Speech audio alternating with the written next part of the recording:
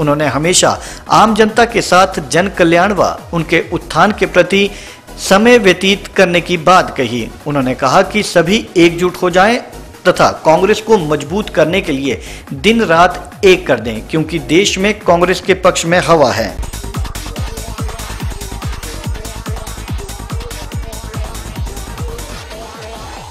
इस अवसर पर उन्होंने विस्थापितों को कोल बाँध परियोजना से मिलने वाले एक प्रतिशत लाभांश के अलावा फ्री बिजली को लेकर सरकार से प्रश्न किया कि अब विस्थापितों को उनका हक देने में देरी क्यों हो रही है।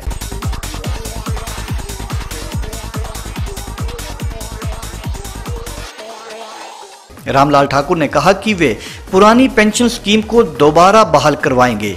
न्याय योजना के तहत छह हज़ार रुपए महीने महिला के खाते में आएँगे। साथ ही रिक्त पदों को 31 मार्च 2020 से पहले भरा जाएगा। इसके अलावा सरकारी नौकरियों में महिलाओं को 33 प्रतिशत आरक्षण, किसानों के लिए अलग बजट, ऋण न चुका पाने वाले की सूरत में गिरफ्तारी का न होना स्वास्थ्य व शिक्षा के बजट को दुगना करना, मनरेगा के तहत 150 दिन का रोज़गार देना, भूमि अधिग्रहण कानून के तहत किसानों को चार गुना मुआवजा देना आदि योजनाएँ कांग्रेस के घोषणा पत्र में शामिल हैं।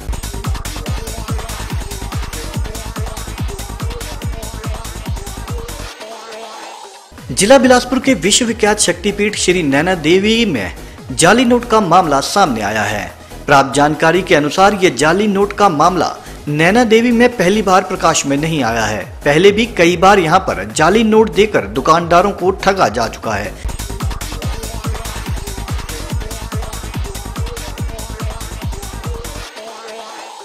मंदिर के समीप दुकान करने वाले दुकानदार गोल्डी ने बताया कि गत रात एक श्रद्धालु प्रसाद लेने के लिए उनकी दुकान में आया और बीस रुपए का प्रसाद खरीदा, जिसके बाद लड़के ने उसे अस्सी रुपए हटा दिए। उक्त श्रद्धालु अंधेरे का लाभ उठाकर सौ रुपए का जाली नोट देकर चला गया, जब उसने सुबह पैसे की काउंटिंग शुरू की और बैंक कर्मी को वो नोट दिखाया तो बैंक कर्मी ने इसे नकली करार दिया।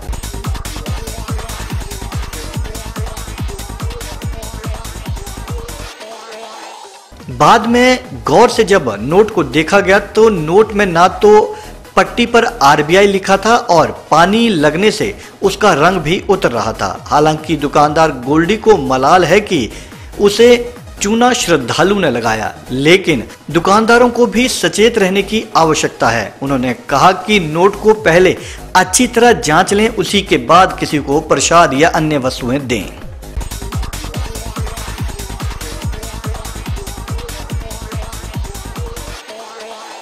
प्राचीन व पारंपरिक मेलों का धनी ट्रांसगिरी क्षेत्र में इन दिनों विशु मेले की धूम है। जिला बिलासपुर के अलावा जिला शिमला और उत्तराखंड से इन दिनों जगह जगह पर विशु मेलों का आयोजन हो रहा है।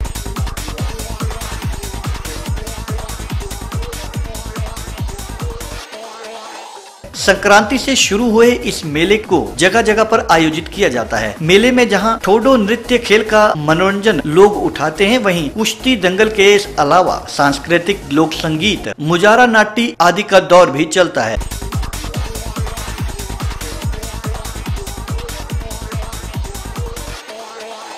पूरे देश से मेलों में पहलवान यहाँ पहुँचते हैं, वहीं इस क्षेत्र में मेहमानों की भी खूब आवभगत होती है।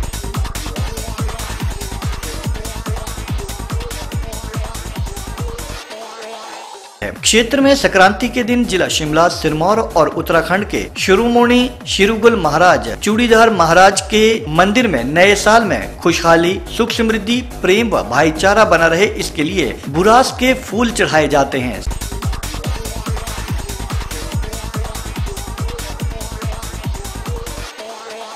सबसे पहले लोग गाँव के साझा आँगन में एकत्रित होते हैं। सभी बुरास के फूल लेकर आते हैं, फिर ढोल नगाड़ों के साथ देव महिमा का गुणगान किया जाता है और मंदिर परिसर में पहुंचकर कुल देवता को फूल अर्पित किए जाते हैं। पूजा अर्चना के बाद से समूचे क्षेत्र में मेले का आयोजन किया जाता है।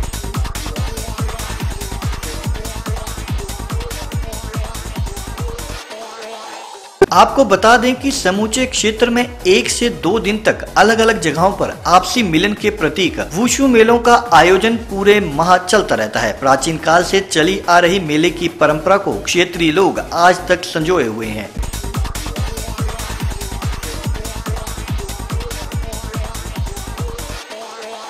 मेले के दिन गाँव में लोग एकत्रित होकर देव छड़ी को साक्षी मानकर आपसी भाईचारे में रहने का कुल देवता से आशीर्वाद लेकर पौराणिक संस्कृति के आधार पर देव छड़ी को गाजे बाजे के साथ मेला स्थल तक पहुंचाते हैं।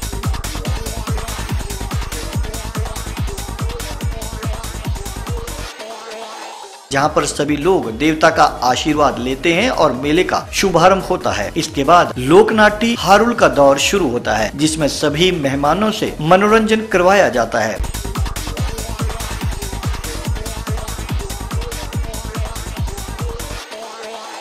कुश्ती दंगल में प्रथम रहने वाली टीम को सम्मानित भी किया जाता है। इसी तरह थोडो नृत्य में भी प्रथम टीम को उपहार से सम्मानित किया जाता है।